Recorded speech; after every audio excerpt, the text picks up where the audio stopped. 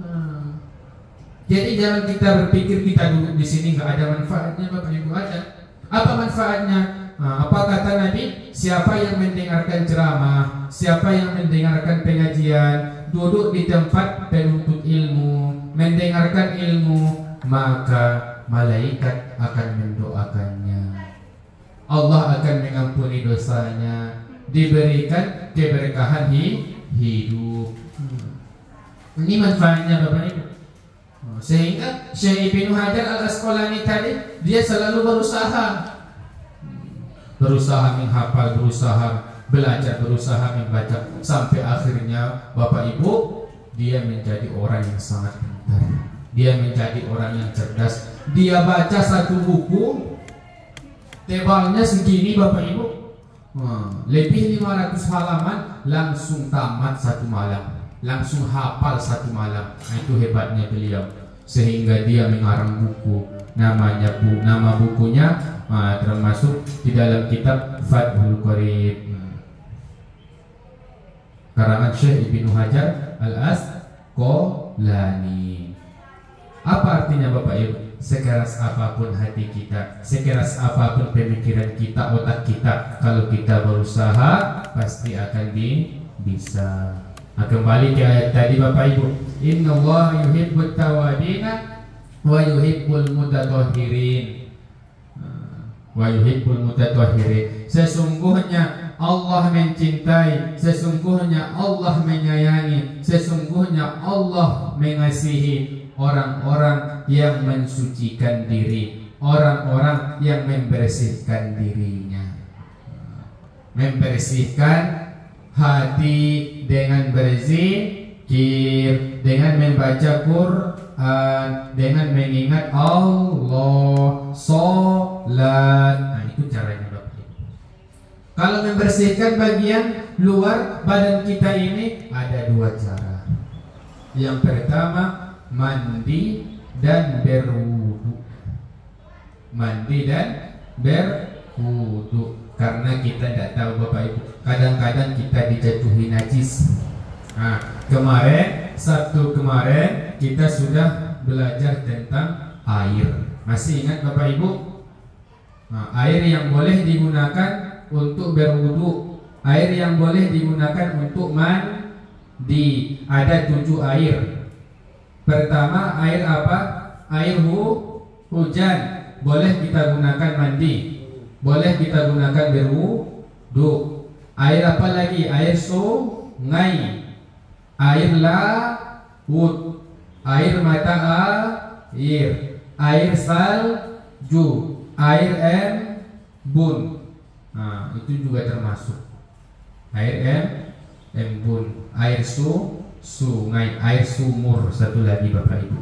Nah, boleh kita gunakan mandi dan bersuci. Karena sifatnya airnya bersih dan dapat membersihkan. Ada air yang bersih tapi tidak dapat membersihkan. Masih ingat Bu, hari Sabtu kemarin airnya bersih tapi tidak bisa membersihkan. Nah, airnya bersih tapi tidak boleh digunakan mandi airnya bersih tapi tidak boleh digunakan berwudu. Nah, kopi, teh, masih ingat bapak ibu? Nah, lupa. Air kopi bersih boleh diminum. Air teh bersih boleh diminum, tapi tak boleh digunakan berwudu.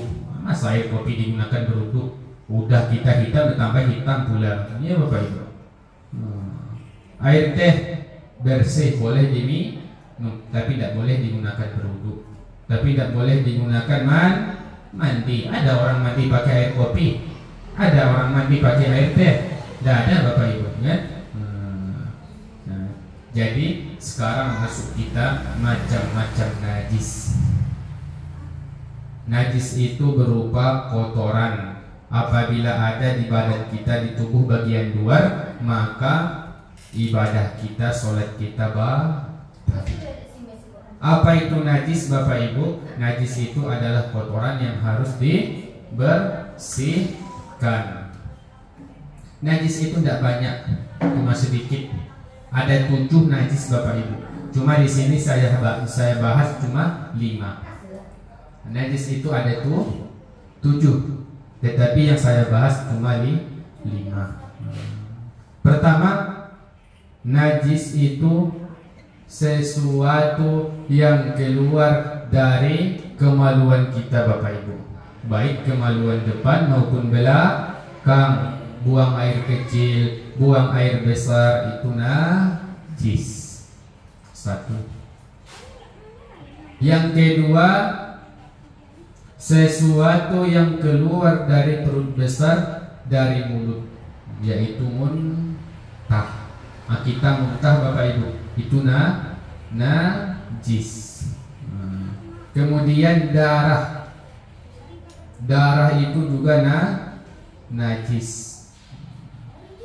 Jadi ketika kita sholat Allahu Akbar tiba-tiba ada luka di tangan kita mengeluarkan darah nah, berhenti sholat. Sholatnya nggak sah. Bersihkan dulu darahnya baru sholat. Nah, tapi berwuduk lagi bapak ibu.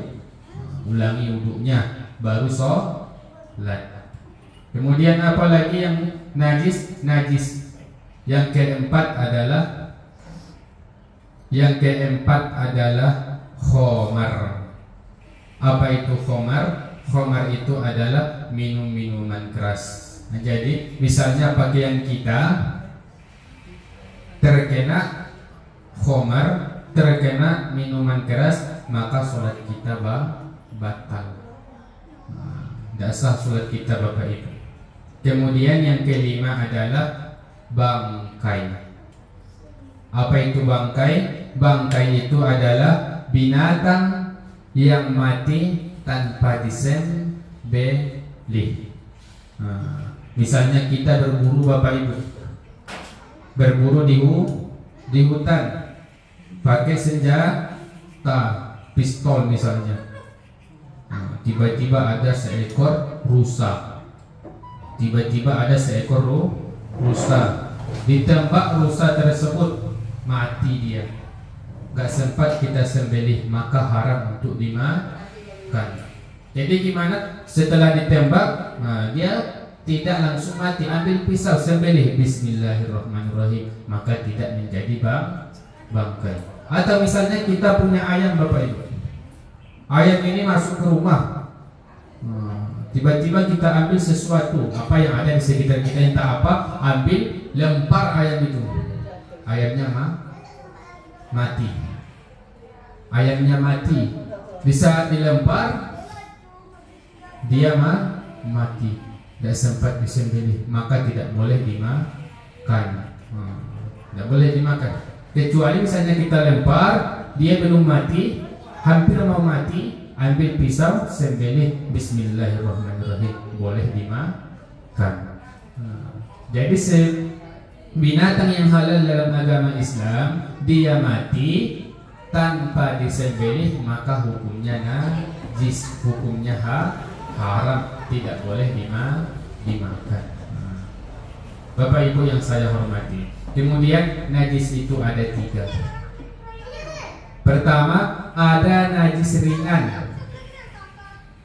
kedua ada najis pertengahan keempat ada najis berat nah, najis itu ada di tiga.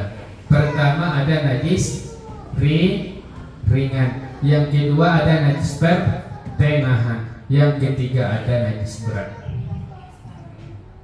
Najis ringan itu yaitu contohnya kencing bayi yang belum memakan apa-apa kecuali air susu ibunya. Ada anak baru lahir masih bayi belum memakan apa-apa. Cuma minum air susu ibu ibunya. Tiba-tiba kita gendong dia bapak ibu.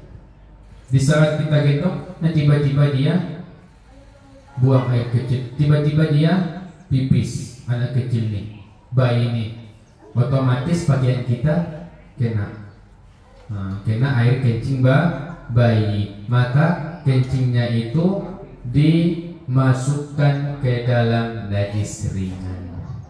Cara membersihkannya nggak perlu kita buka baju kita, kita cuci nggak perlu. Ambil air sedikit, percikkan. Ah, misalnya yang kena di sini, percikkan. Kita bawa sholat, boleh nggak bu? Boleh. Nah, itu najis ri, ri, ringan. Najis pertengahan semua yang keluar dari kemaluan kita depan maupun belakang itu najis pertengahan. Dan cara membersihkannya harus dicuci pakai air sebanyak tiga kali. Lebih bo boleh sampai dia bersih. Nah itu najis itu jadi kalau pakaian kita bernajis, kita tidak suci, sholat kita tidak sah. Sholat kita tidak sah. Nah, ada gunanya kita sholat. Apa gunanya sholat kalau kita tidak ber bersih? Sholat kita bakalan tidak sah. Nah, jadi pertama bersihkan dulu. Kemudian baru kita berwudu. Baru kita berwudu Bapak Ibu. Nah, Berwuduk masih ingat bu? Masih ingat berwuduk? Nah, berwuduk itu pertama berniat nawaitul wudu'a bi rabbil hadatsil asghari fardolillahi ta'ala atau misalnya kita tidak hafal bahasa Arabnya sengaja aku berwuduk untuk menghilangkan hadas kecil karena Allah Ta'ala kita berniat itu niatnya Bapak Ibu